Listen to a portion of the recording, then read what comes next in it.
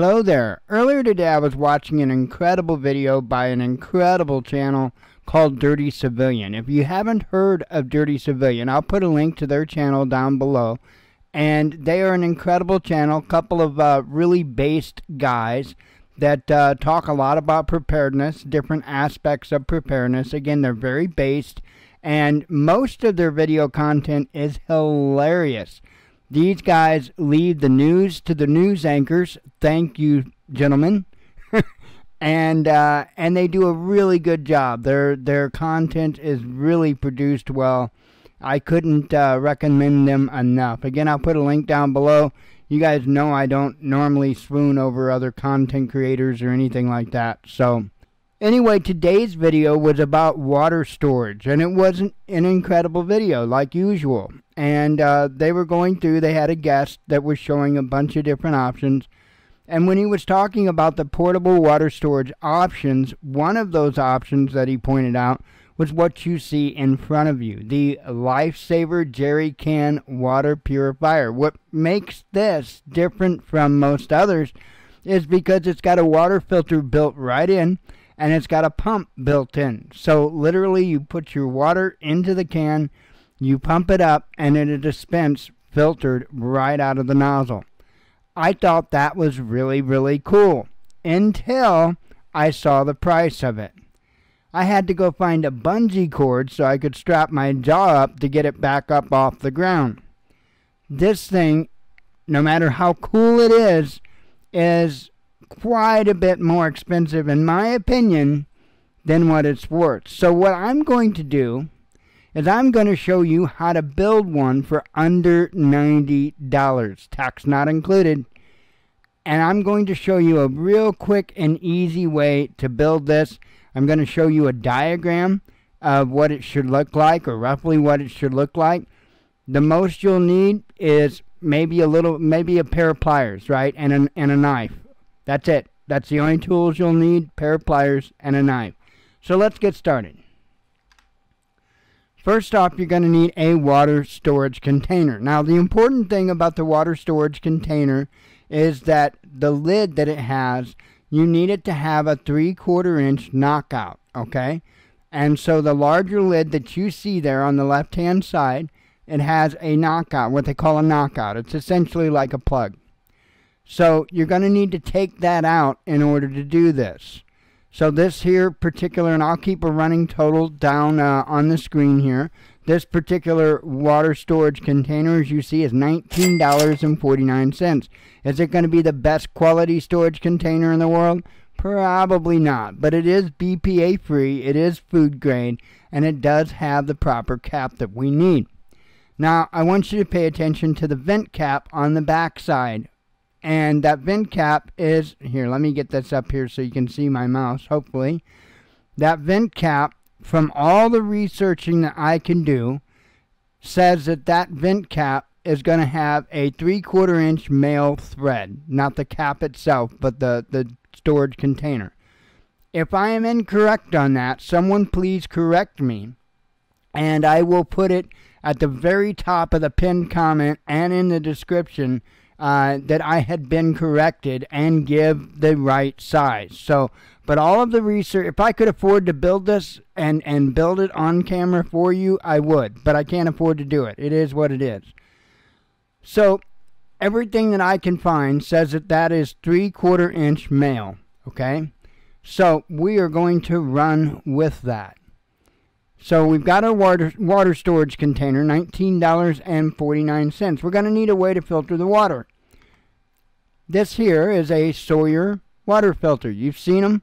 You've seen them plenty. However, this is a Sawyer Mini that's dual threaded. That means it's got threads on both sides of it. That's not as common as what you know the the usual Sawyer Mini that you run across. Okay, most Sawyer Minis only have threads on one side, so this is a particular model of Sawyer Mini, and it costs twenty seven dollars and seventy five cents. I'll put all these links; they will be Amazon affiliate links, so I will get a credit if you do purchase it.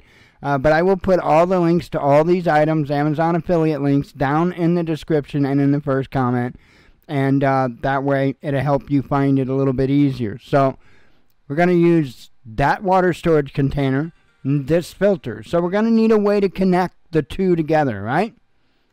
So that's where this comes in. They're GHT or um, garden hose thread, right, on both sides, male and female.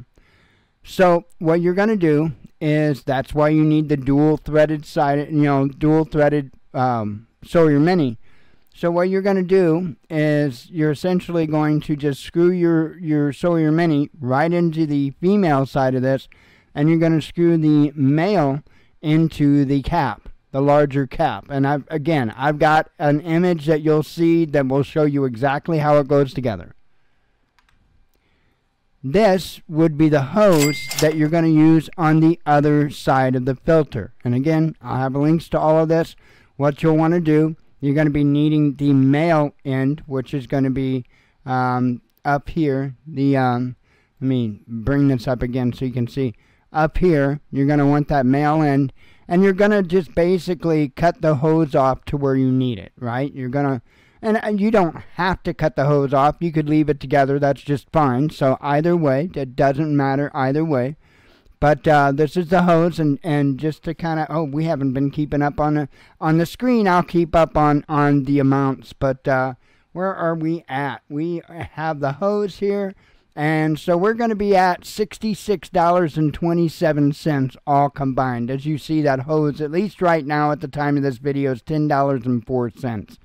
So again, that's going to bring our grand total so far up to $66.27. So let's continue on.